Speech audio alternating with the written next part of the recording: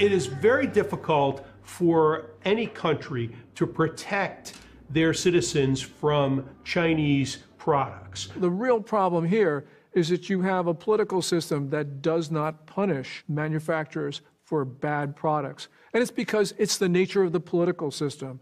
The Communist Party does not allow independent prosecutors, doesn't allow a free press, doesn't allow people to complain about bad products. Let's take fish. There are 3.5 million fish farms in China. The fish are raised in contaminated ponds. They're fed all kinds of hormones. And the biggest market for that fish is the United States. 85% of the tilapia comes from China. Most of our shrimp comes from China. US FDA only has the ability to inspect 1% of the fish coming into the United States. 65% of the 1% they reject. They don't have the authority to confiscate the fish. So if the ship comes into Charleston and gets rejected, then it goes to Miami or New Orleans or some other port, and eventually the fish gets in. And because of such dangers, Americans are becoming more and more aware of the Made in China label. But that doesn't always guarantee one's safety or convenience. I personally do look at the labels of where things are made. But sometimes I go to buy things and it's impossible to find something that isn't made in China. But my wife's a good card carrying liberal.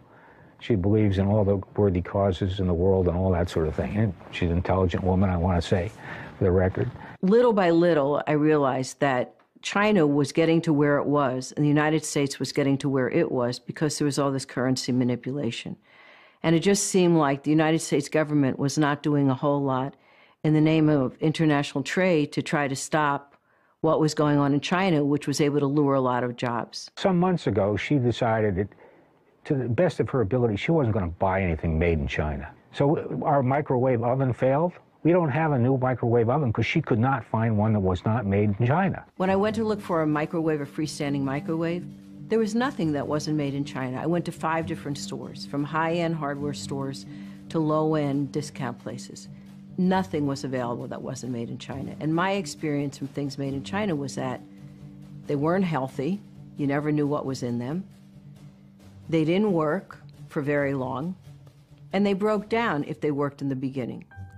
So I then decided I just wasn't going to buy anything that was made in China. So we just, you know, do not have a microwave anymore.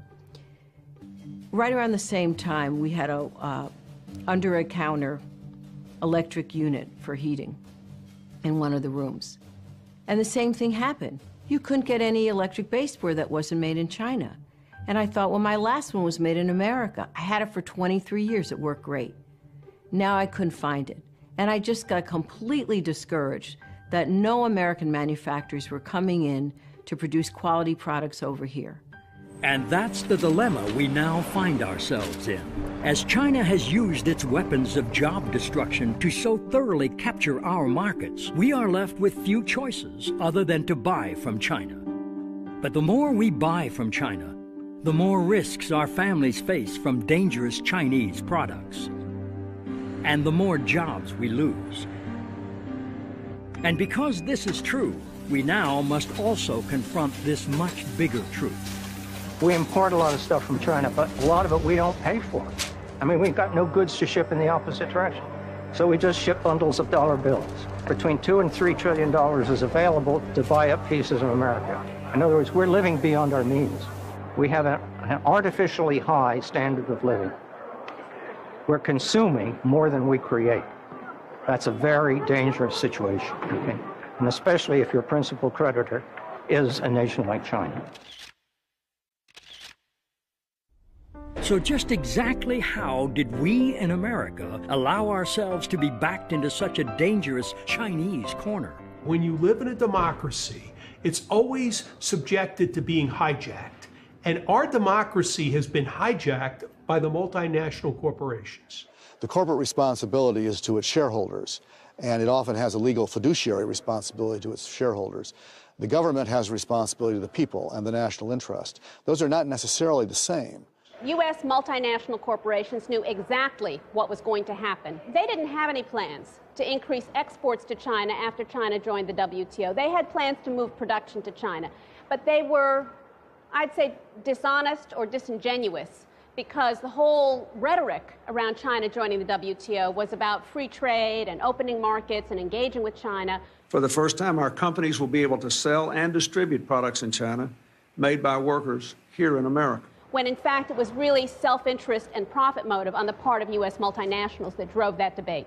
And U.S. China Commissioner and businessman Dan Slane knows firsthand just how this offshoring shell game is working since China joined the World Trade Organization in 2001 and began flooding American markets with illegally subsidized exports. I had a plywood manufacturing facility in Bowling Green, Kentucky, selling plywood to furniture manufacturers in the United States. In 2002, all my competitors were moving to China. Uh, essentially, I had two choices. I shut the company down or I moved it to China. And I opened up three factories in China and delivered to the customer in the United States 50% cheaper than I could make it in Bowling Green. And Slane's newfound competitive edge was all due to China's illegal weapons of job destruction.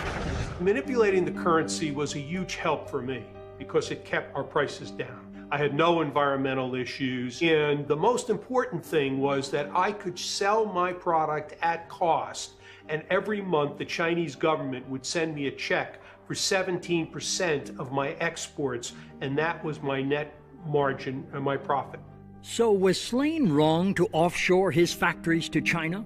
This interchange with U.S. China Commissioner and multinational corporation lobbyist William Reinsch offers some perspective. It's not generally regarded as the job of a large American company to, uh, you know, substitute itself for the government.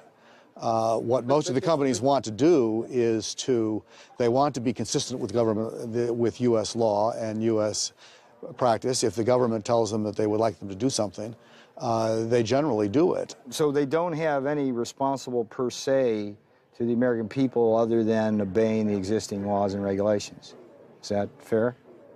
Well, what responsibility would you like them to have to the American people other than trying to be good corporate citizens and to be profitable? Would you define a good corporate citizen as a company that moves its factories over to China and creates massive unemployment in the Midwest. Is that good corporate citizen?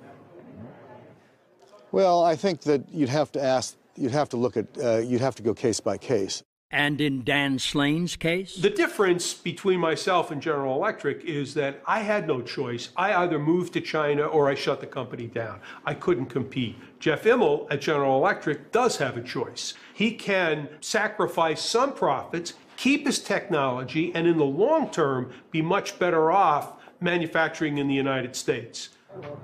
Congressman Tim Ryan understands this distinction between small domestic manufacturers and the big, well heeled multinationals better than most. There's a huge divide here between the mom and pop uh, tool and die maker that has been in Youngstown, Ohio for 100 years, and the global corporation that's involved in the global financing of all of this stuff, the global manufacturing, and not really concerned with any one country. They're concerned with how they can best do business. And one of the biggest obstacles to passing tough legislation that would stop China's unfair trade practices is the lack of political clout of America's domestic manufacturers. And to go chasing down after all of the political rhetoric of dealing with this issue and that issue and running for Albany or running to Washington, D.C., and setting up meetings and stuff, um, it's too costly, it's too time consuming and it has nothing to do with building drum and barrel handling equipment and helping this company to be successful. And that's the issue here. They don't have lobbyists down here.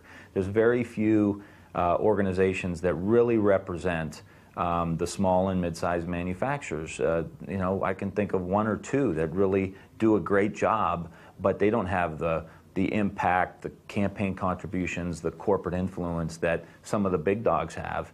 And just who is one of the biggest dogs on the Capitol Hill lobbying block? Behind me is the headquarters of the National Association of Manufacturers, which unfortunately has become a major misnomer in recent years, because the name really should be the National Association of Manufacturing Things someplace else.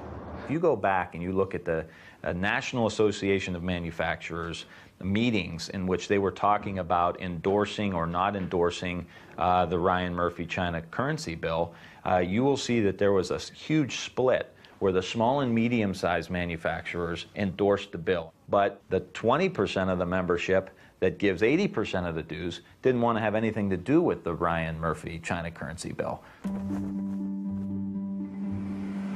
Brian O'Shaughnessy is the chairman of Revere Copper, a company founded by none other than Paul Revere and the oldest manufacturer in America.